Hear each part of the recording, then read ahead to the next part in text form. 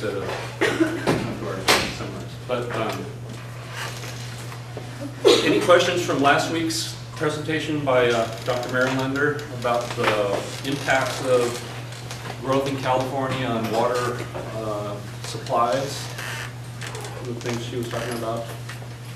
And how the type of development is going to impact uh, the the, the the effects on water resources, the, the, she, she put up those maps about, uh, these, uh, exurban, um, growth is gonna have a much larger impact than infill, let's say, infill, uh, growth, because it's taking away a lot of other, other, um, ecosystem services.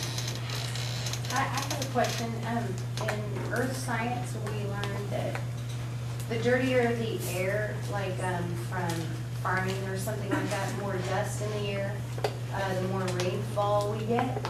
Is, is that true in, in your sense? Do you, so maybe the more smog we have, the more population. It's more related towards, the, uh, the specific sources of particulates aren't, aren't real clear, but it is well known that particulates serve as a nucleus for water droplets to form. So do you think there's a possibility with population growth, we might have more rainfall? Or, or if we're not seeing that so much, so are we? Question answered, don't, But, I'm really good at giving that answer to it. It's not known. yeah. Okay, let's get started. Our speaker today is uh, Aaron Majors. Here it is on, so I can figure out who you are. Uh, Remember who you are.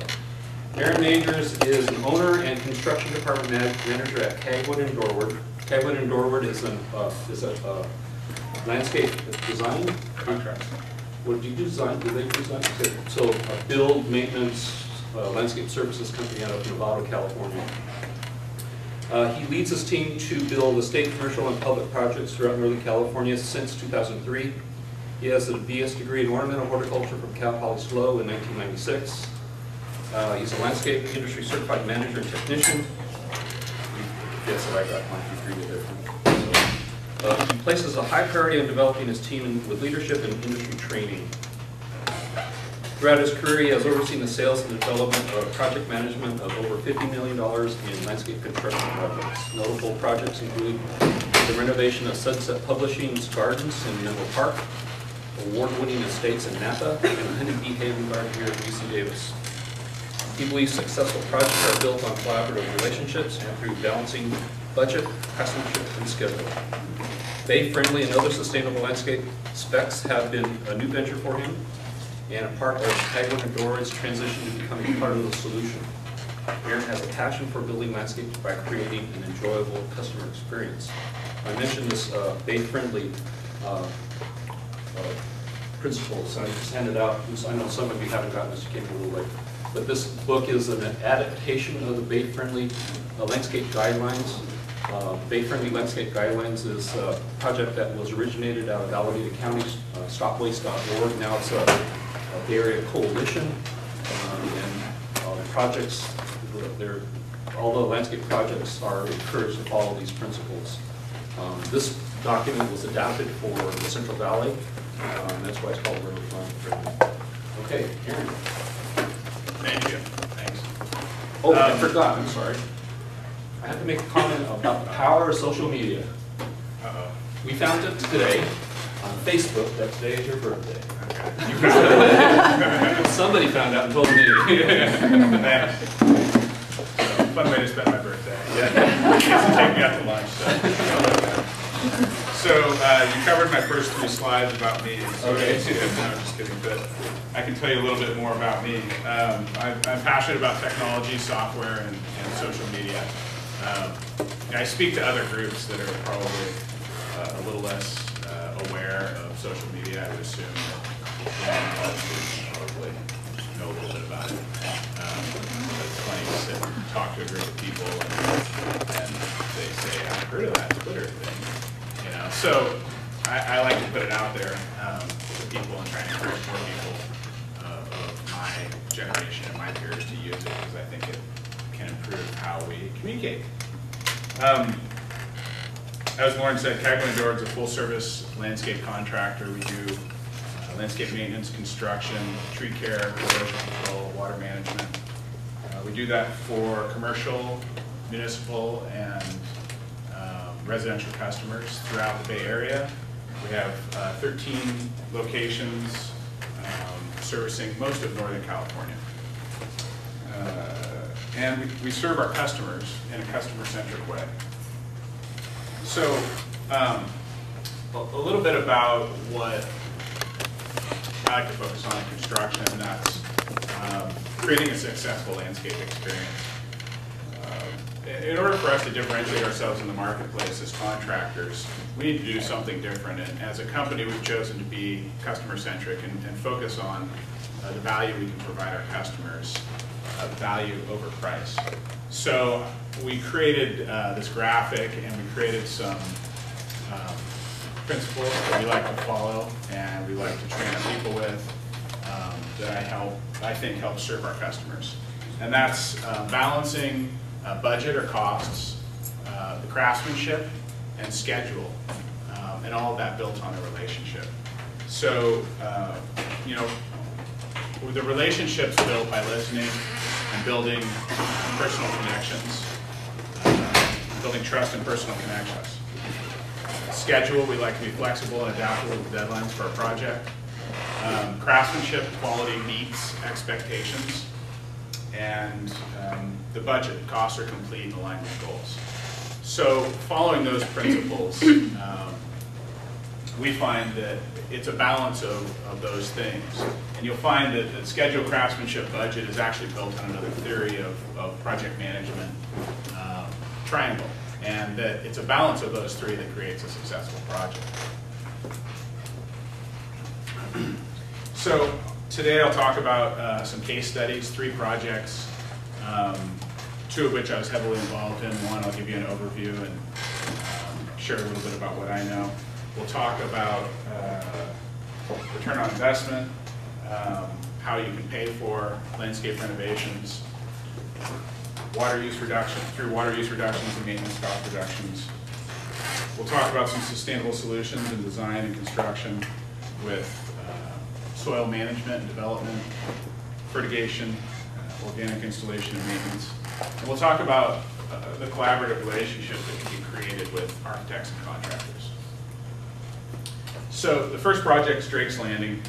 Um, It's the first Bay-friendly certified project, commercial certified project uh, in Marin County. Um, The owner is uh, Equity Office Properties, who the largest owner, property management company in the country of commercial office property. And it- the project's in uh, Larkspur, right on the bay. Uh, If you know the Larkspur area, as you go over the 101 freeway heading north, it's on the left in that lagoon area. The landscape designer Susie Dodd Markarian. Um, It was built in November 2009.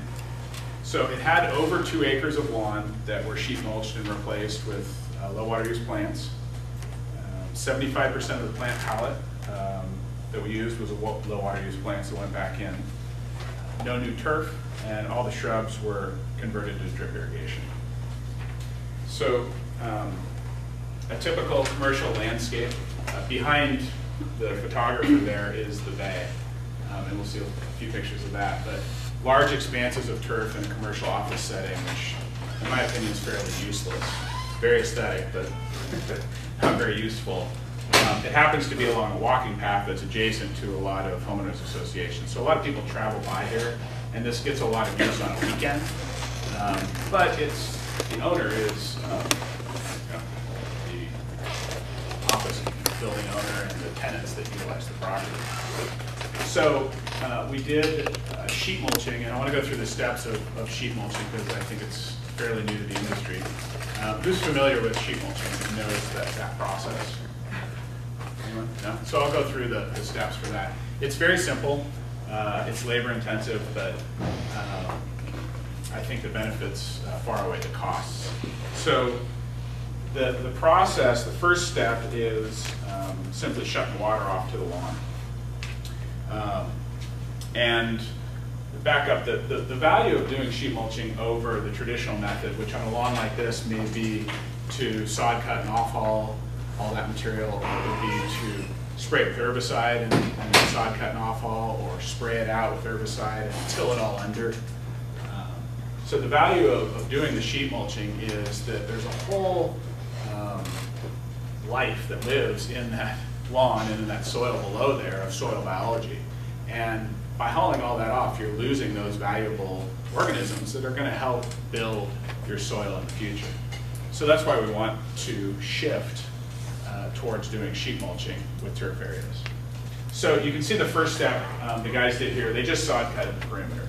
So you have to think about the profile of material that's gonna come in here and the fact that um, the perimeter is already at grade. And so unless you get that edge down to fill that new profile of compost, cardboard, and mulch, you're gonna have all that material built up on the edge and it's gonna be off in your sidewalks and your hardscape areas. So a significant portion of work is, is, the first step was sod cutting, but it's really excavating that down, and pulling all that material up, and just kind of throwing it up in the landscape.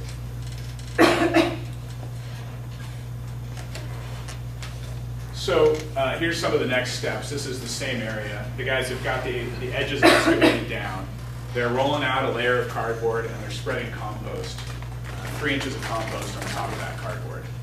So that's, it's that simple, it's those steps. It's recycled cardboard, we buy it in large rolls, and it's organic uh, compost that we're using.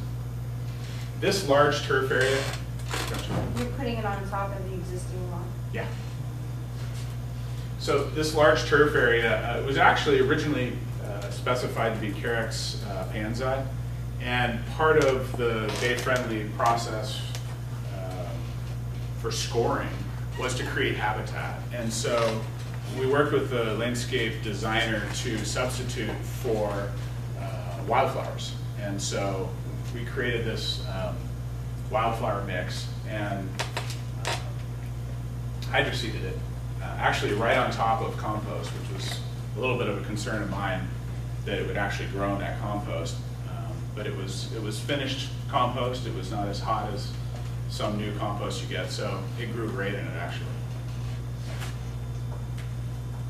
Um, Another area that was sheet mulched, but uh, being just planted and drip irrigated, so you can see the guys working with um,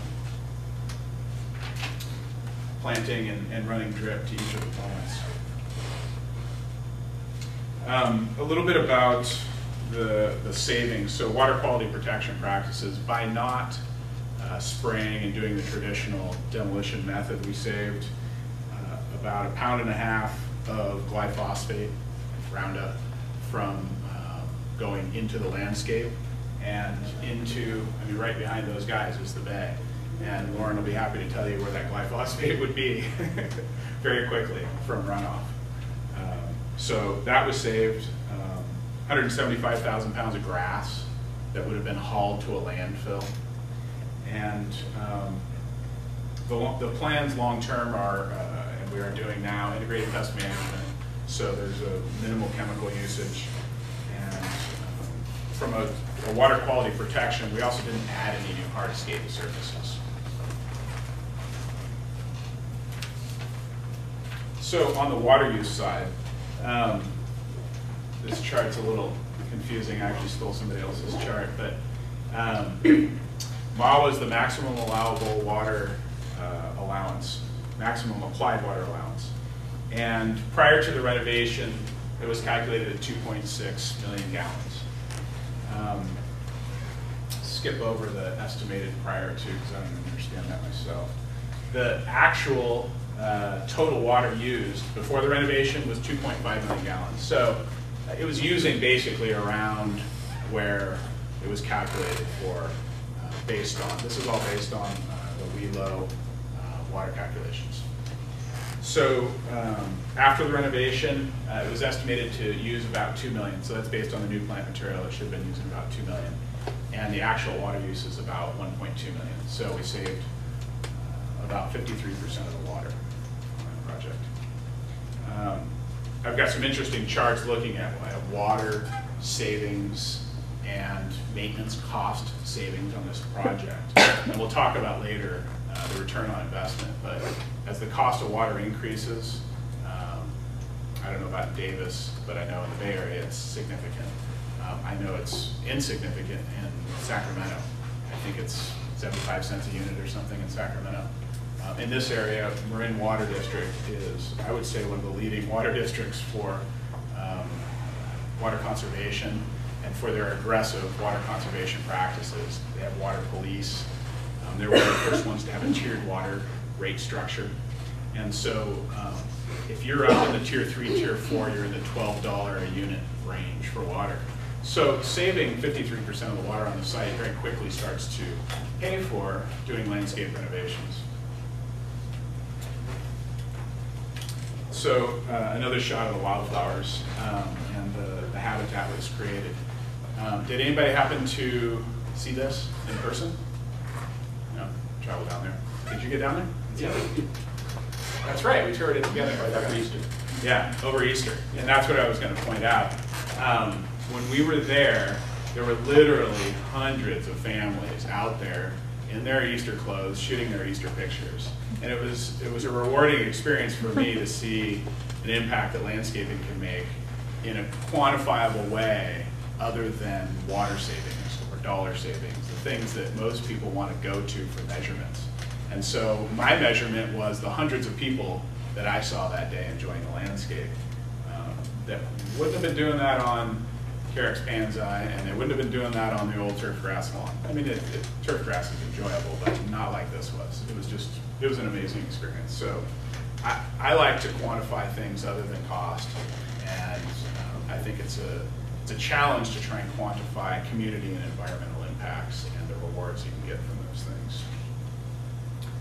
Uh, The, the next project's the Willows uh, Eco Gardens. Uh, We've maintained the site for years, I'd say 10 plus years. And uh, it's a small shopping center in Concord.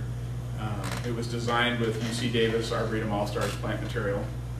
And it was designed with bay-friendly specs, although it wasn't bay-friendly certified. Uh, We used compost tea and kelp through the summer months for the plant material. Most of the plant material is native and it had some stress on it. So enhancing the soil food web by uh, using organisms in the, in the compost tea or food for the organisms. Uh, I- Again, what's unique about this project and something that we do differently is collaborating with our customers and other people, creating uh, a successful landscape experience or creating a community event. So in this case, we had a grand opening.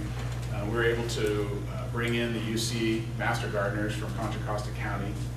Um, We partnered with uh, California Center for Urban Horticulture, and Missy and Dave helped um, bring the Master Gardeners to uh, the program, as well as getting the Arboretum All-Star spec on the project.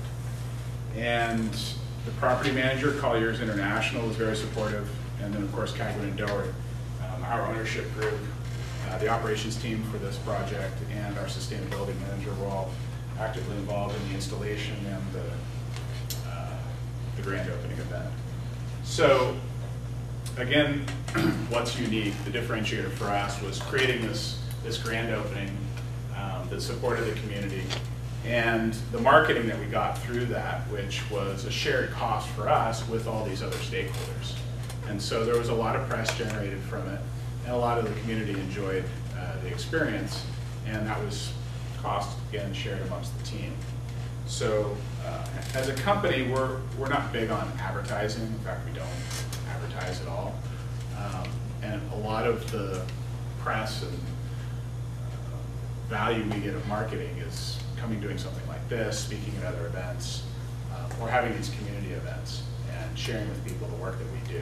Um, Not making an investment in the phone book or traditional advertising methods, which usually proven to not be that successful. So the Master Gardeners had a plant sale, that's Missy, um, talking about salvia maybe. Um, But it, it was a cool event, other than it was 110 degrees, I think, that day, and everybody was melting. Uh, it was pretty fun. Another element of the project, out by the freeway, they've created this eco critter farm where they're doing um, school tours now. Uh, There's worm bins out there with earthworms, and they've cycled those earthworms back into the landscape to do some natural tilling of the heavy clay soils. Uh, And then there's a some beneficial insects uh, in a little cage with lacewings and, and uh, ladybugs. And they've done releases of those on the property. All of this is focused around doing school tours and generating um, interest for the community in that area for the shopping center that's there. As well, there's on-site composting, uh, which I'd say is a huge leverage point uh, for all of us that, that have an influence on design. Uh, From the commercial maintenance perspective, um, other than grass cycling, which we do on all of our projects, um, most of the other material comes off of the site. And so um, part of our transition is figuring out customers that are open to doing uh, composting on their site of that material. And the most sustainable way is to retain that material there, compost it, and put it right back into their landscapes. Um, Although there's been limited interest from our customers, um, I think we're making some progress. And I think you'll see, um, you know, my vision would be in 10 or 20 years, it's just what everybody does. Uh, But right now, it's a little too innovative for some people. So Harbor Bay uh, medians, the best picture I could find was Street View. Um, This project is along Harbor Bay Parkway in Alameda. Derek? Uh, Yeah. Question. Quick sorry. question on, Yeah. on the Willows. Yeah. How did you, uh, how did that project come about? Was it the uh, developer doing the shopping center wanted to do something sustainable? Or was there some other incentive? Um, It was actually generated out of Cagwin and Dorward's desire to do a demonstration garden for Arboretum All-Stars and searching for a customer that was open to doing this. Uh, They actually paid, our original goal, I think, was to do a very small renovation. We were actually going to do it at our own cost. And finding this customer, it turned into a much larger renovation. They paid for the whole project. Um, So that's how it came about. So this, uh, and this project's in progress now, so you won't see a lot of finished shots and, and data on this because it just broke ground in beginning of September and it's kind of rolling full speed right now. But Harbor Bay Parkway starts uh, at the Oakland Airport and runs out to the ferry terminal. Um, All of the private development along here, most of it is owned by Harbor Bay Business Park Association. There's one very large developer that started building out here 15 or 20 years ago. Um, The recognizable landmark, I think, is uh, the Oakland Raiders practice field that's along there. And so this renovation is the median island strip. Uh, It's a mile and a half long, 120,000 square feet, I think. And it's owned by the city of Alameda, but it's a unique relationship, I want to point out, that the Harbor Bay Business Park Association administers the maintenance of this through landscape and lighting district money, property tax money, through those local businesses. And that money siphons through um, the city of Alameda to the private uh, developer or business park association, and they administer contracts for maintenance and construction. So it's a private project, private money, uh, but, well, I should take that back. It's public money, but somehow it becomes private money because it's going through a private company, and it's on public land. So, um, City of Alameda is the owner. Um, The landscape architect is April Phillips Design Works. Uh, Is anybody familiar with April Phillips? Know who she is? No. Um, Prominent Bay Area landscape architect. Um, The goal is to create uh, a sustainable water conserving and habitat enhancing landscape that sets a new eco-friendly image. Um, And here you can see part of the Oakland Raiders practice field. And the work we're doing is only on these islands, which um, I'm guessing is maybe 25% of the total area. So all of this is common area as well. It's all parkway turf, all along the frontage of here is all common, and it's all turf. Um, I take it back, there's a little bit of shrubs along the fence along the properties here, but almost all turf. Um, And the median islands is all turf, and there are no trees. It is literally just turf. It's just interesting landscape. So they knew they wanted to do something different. um, And so back to the, the design intent. Um, It was to replace the existing turf with a green, eco-friendly landscape, following the bay-friendly guidelines. The current estimated water usage of just the islands is about 3.6 million gallons. The uh, projected reduction would be down to about 1.2 million gallons of usage in a year, so about 65% reduction in water.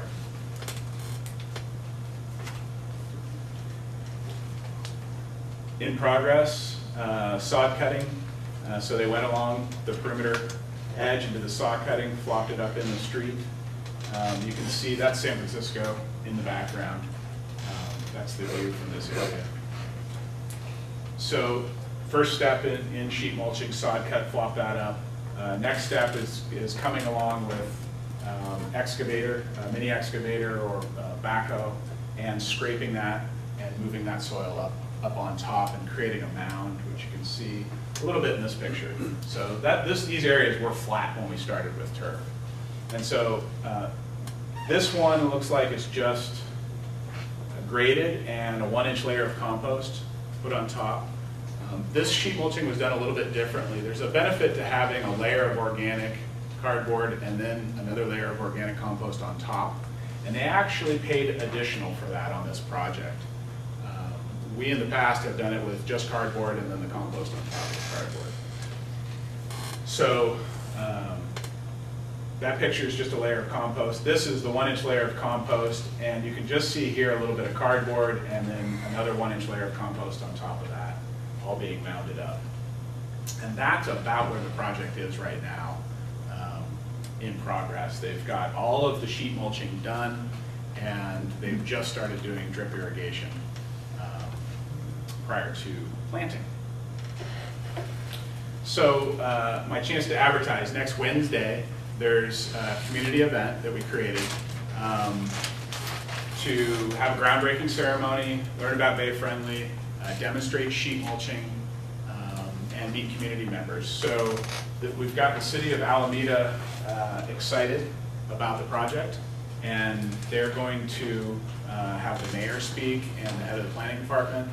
Um, In one of those islands, we'll be able to do sheet mulching so people can see how that process works. And uh, stopwaste.org or Bay Friendly will be out there, East Bay Mud, uh, the Water District will be out there, and it should be an exciting event. Aaron, So, yes, Can you give us just a, maybe a summary of what April's plans are and what she has putting in there?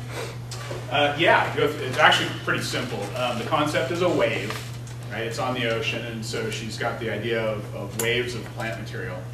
Um, the plants are two grasses, Stipa, tenuissima, and festuca, I can't remember which one. Um, there are Meidiland roses going in. There is a Phormium, I don't remember which one. Um, there is Nomo fescue going in, so about 20,000 square feet of this is Nomo fescue. That fine fescue that looks sort of left meadowy looking? Yeah, Oh, nice. and that's being done on all the left turn lane island tips Oh, nice. for view, right? So you won't have any plant material up in the way of the view of those turning 25,000 or 20,000 square foot of uh, NOMO. And um, Hemerocallis Stella de Oro, or maybe it might have been Substitute or something. But um, one of the ways this project was sold that I could share with you is that uh, we originally bid this for over half a million dollars, and the customer came back and said, I have to save money." So going through a process of value plant material, change some of the spacing, and change the sizes and we were able to drop the project to about $430,000 um, just through that process. So little things like, can we plant the grasses at 14 inches on center instead of 12? Saves $5,000 over a mile and a half. So little things like that that you can't really see that um, will make a benefit to uh, their bottom line cost and allow the project to go forward. So um, I wanted to ask the question, what is value mean to you? Do they have a definition of what value is to them? No.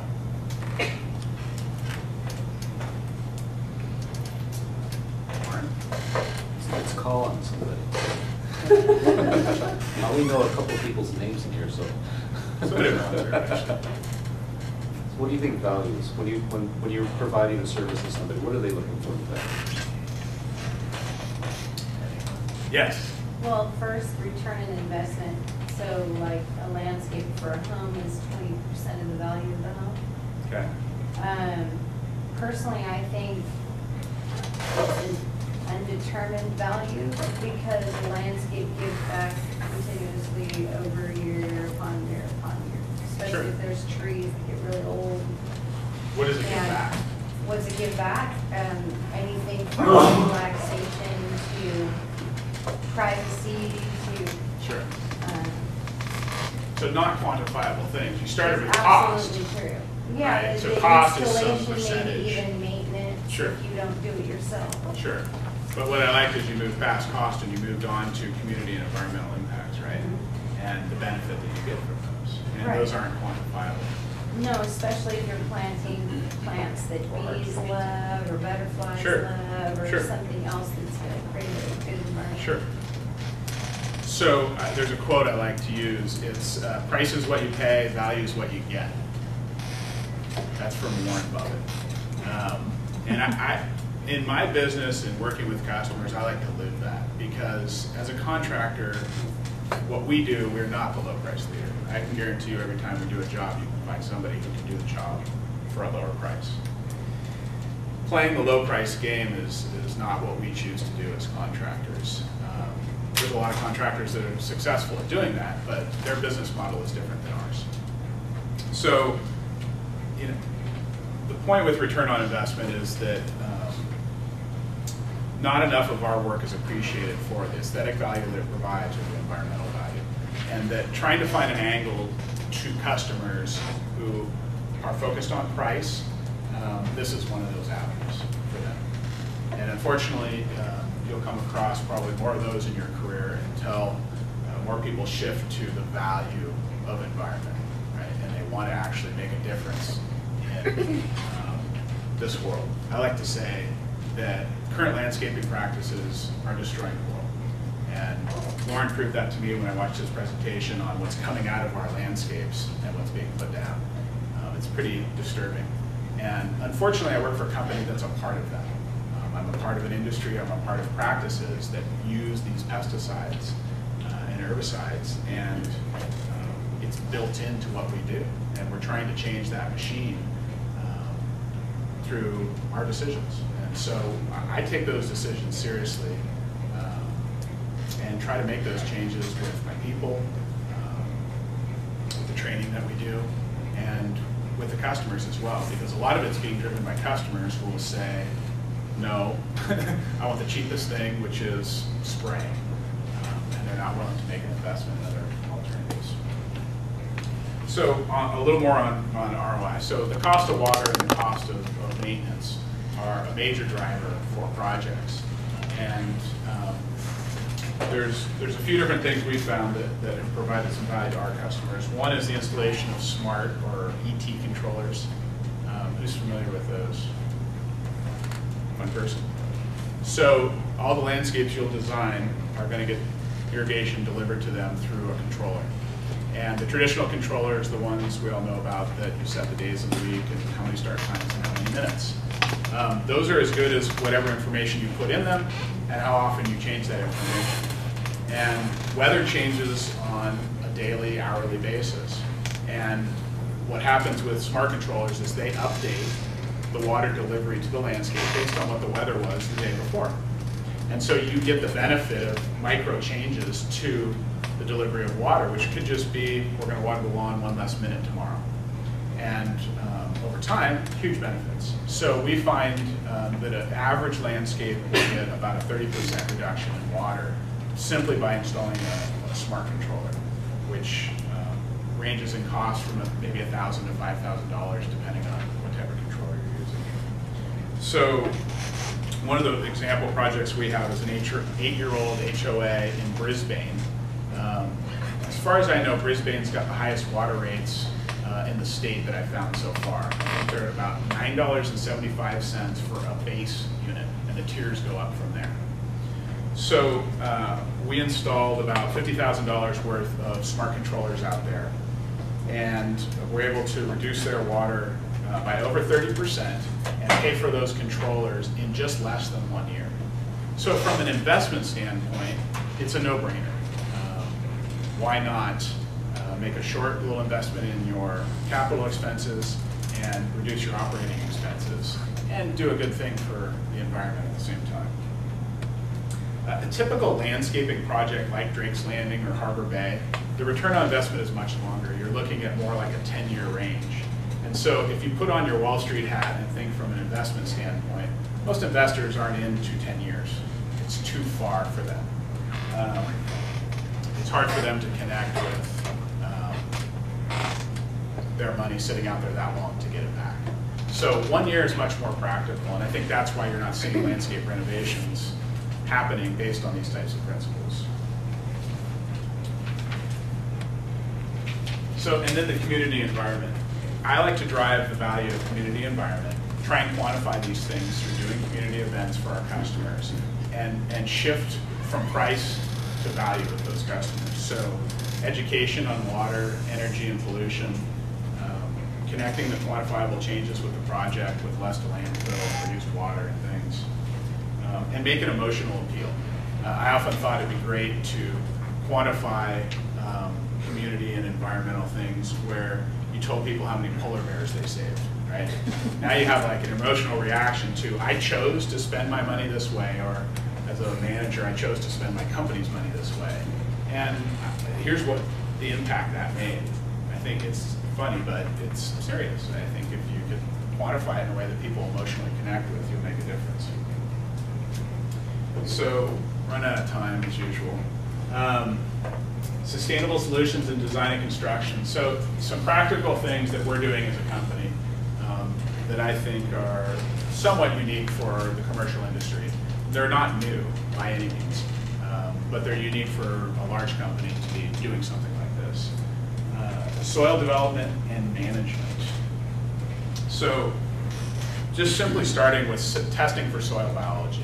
Typical specs include doing soil tests for chemical analysis. And the shift now is to test for soil biology and bacteria, protozoa, nematodes, fungi, mycorrhizal colonization. Um, the living organisms that are in their soil that control diseases on their own, control insects on their own, fix back uh, nitrogen for the plants to grow on their own naturally, and separate us from the synthetic spoon feeding of fertilizer that most traditional landscapes need, as well as uh, pesticides. So that's one change, is doing soil biology testing. Uh, Respecifying projects with organic compost. Um, Most of the projects I see, plans and specs, say uh, nitrolized sawdust, so that's the traditional spec for a landscape uh, architect. And nitrolized sawdust is not sustainable. It's recycled, I mean, it's a byproduct of the lumber industry. But um, eh, we are currently buying our organic compost, which is much more local, it's not being trucked from the forestry industry to us. It's being created um, locally in our own counties. Um, It's cheaper, um, it's organic, and it is full of soil life that we're trying to regenerate in our landscapes. Promoting sheet mulching uh, in lieu of the old methods. Uh, Applying compost tea and biostimulants. So the compost tea has the soil life uh, in it. It's the bacteria, protozoa, nematodes alive that you put down on the landscape. Um, Add biostimulants um, and grow the, the soil life. and organic and pesticide free. So that's usually an education issue. Most customers um, aren't okay with weeds in their lawn weeds in the cracks of the sidewalks and things. So we have to uh, educate them that, you know, maybe it's okay to have a few weeds and not to be spraying pesticides in the landscape. And that's a challenge to overcome. One way we've, we've found is we can um, hurt and heal. Uh, I learned this from our sustainability manager, and that is to use a pesticide or an herbicide like say Roundup to spray out a weed because it's got to be done. Uh, and you know, number one to that customer is keeping the weeds out, and if we can't do that, they'll find somebody who will. So spray out that weed, and then come back after and spray compost tea which is the next step in healing that soil after we've just put that uh, herbicide in the ground. Yes? What, did you say a biostimulant was? Food for soil biology, so. So fertilizer? Well, no, it would not be fertilizer. It would be uh, organic material itself. Like compost? Sea kelp uh, is a biostimulant. Um, I think of other ones off the top of my head. Um, But there's other organic materials that nematodes live off of, fungi live off of, bacteria live off of, that you will feed and build the soil food web with. I like this one. Uh, I'll talk a little bit about fertigation, but um, it- it's a fact that fertilizer use for the commercial landscape industry is destroying our oceans, and it's creating uh, dead zones near the coastlines. So uh, one of the solutions that we've found is using fertigation systems, and that is putting a tank in with your fertilizer, or excuse me, a fertilizer tank in with your irrigation system to deliver fertilizer through the sprays or rotors or drip system directly to the plant material. By doing that, you can um, reduce the quantity of material because it's actually getting to the plant easier. Uh, You can reduce the amount of labor significantly. And you can actually pay for the installation of these systems very quickly. It's also an easy way to deliver biostimulants and to switch from synthetic to organic. So what I'm doing now, our company's doing is going through um, and proposing this to all of our customers and trying to get them to switch over so we can start using, rather than the organic-based fertilizer, granular fertilizer we use, we can now use fish emulsion, which is 100% organic. And we can add a biostimulant at the same time. We can reduce the cost associated with fertilization, and then we can have this benefit to the environment.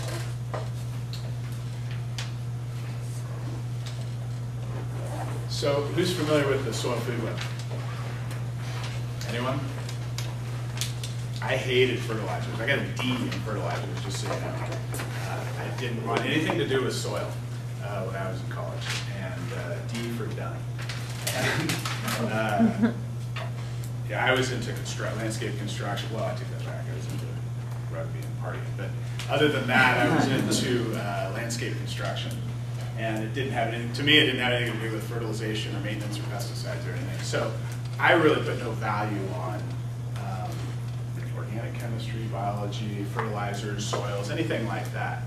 Um, I've come to regret that now, understanding how important that is to what we do, and that um, it's a dynamic situation that you have to understand the system of, not understand, well, I just do this and it solves the problem. So I, I encourage you all um, to look more into this. Um, I would say one of the changes you're seeing in the industry is going from a typical spec of nitrolized sawdust and fertilizer to testing for the soil food web and the soil biology, and then replenishing the soil biology through a landscape renovation process. And on the right, this is the number one tool for any landscaper, a soil probe. So know what's in your, what type of soil you have, and um, how much water you have in your landscape. So I'm running out of time, so I'm going to skip that one, and we'll go to uh, collaboration. So an important part for me in working with my customers and in working with, well, I'll start with my customers, because to me, these are all customers. Um, We have landscape architects and designers we work with, we have the customer and the owner, and we have contractors, us or general contractors. Sometimes we're sub, sometimes we're the prime. So we have up to what I would call three customers on any job. And um, they don't always agree with what they want to do, which is one of the biggest challenges we have. So who do you think is the most important in that relationship of owner, landscape architect, and general contractor? Does anybody want to guess? Customer? Customer? Anyone else? Why the customer? Because they're the client. They're paying for it, right? No, it's not money, you're providing a service to them, and so is, are you and the architect? Yeah. The architect is as well, yeah.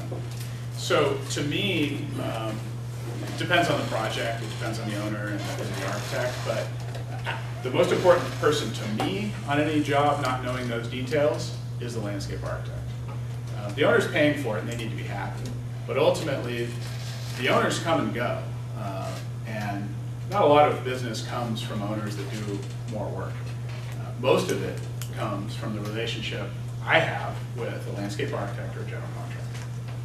And um, it's much more important for me when I'm put in the situation of choosing, and I often have to do this, who's right, the architect or the owner, and how to deal with the scenario, to uh, choose the landscape architect because it's going to be the same architect on the next job, and it's going to be a different owner down the road.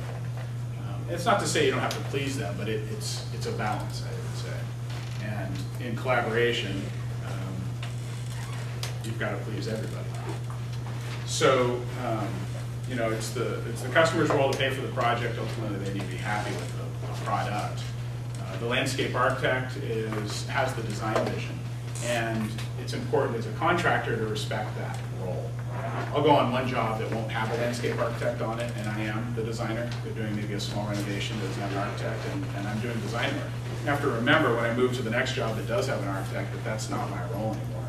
And that if question comes up, I'm not solving that problem, I'm putting that back to the architect and respecting their role in the project. And as a contractor, I go back to my graphic originally of balancing cost or budget, uh, craftsmanship, and schedule on a project, and that's the role I take. So a few more minutes for questions. Any questions for Aaron? I could have talked longer. How long does the sheet mulching typically take? Relative to what? Take to install, take to, For this stuff below it to get down? Oh, good question. So uh, the Drake's Landing project, what sold me on sheet mulching was the Drake's Landing project where we we laid down cardboard, three inches of compost, and then we hydroseeded on top of that. And before we did that project, um, it was typical hard turf. Touch it like this and your hand might sink in an inch at the most just through the thatch layer of the turf. Um, Six months after that was sheet mulch and the, the wildflowers were up and I went out there and you were able to put your hand into the soil that deep just by pushing down through. So it- it obviously went right through the three inches of compost and whatever minimal thatch layer was developed from that planting and the cardboard. Cardboard was gone, you couldn't even find it. And what was amazing to me was the soil biology that totally changed by putting uh, that organic compost on there. It affected all that other soil, which allowed you to push your hand another three inches into the soil. It, it started to uh, naturally aerate that soil um, and bring the soil to life so that it uh, was healthier. And it was just amazing to me because you know, traditional method would have been you have to rip eight inches deep to get the soil aerified, and this just did it naturally.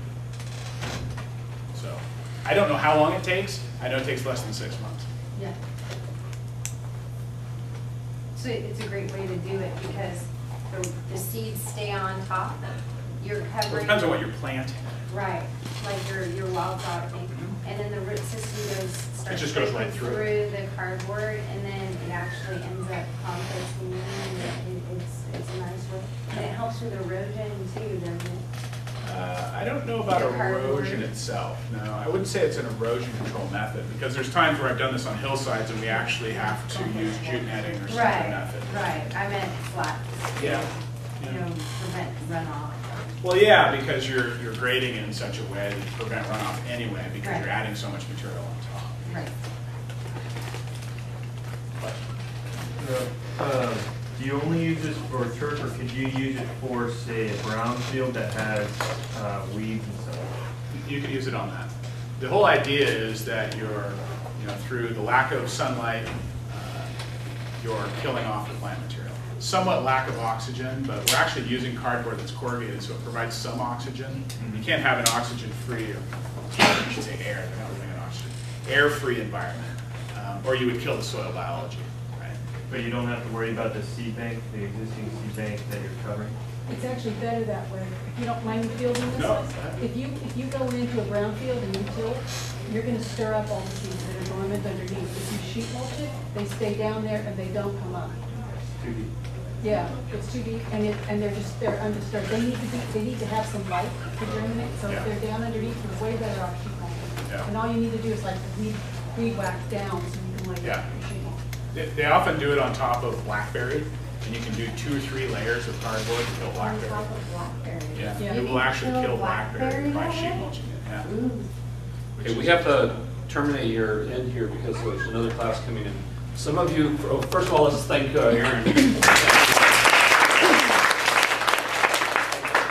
Um, I I always like having Cagwin and Dorward folks come out because they're, they're, they're way ahead of uh, most of the other uh, contractor uh, types, the way they think, the way they do things.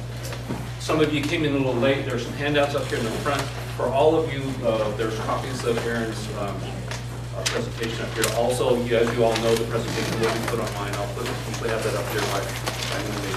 It's already, it's already on SlideBoom if you want to download it on SlideBoom.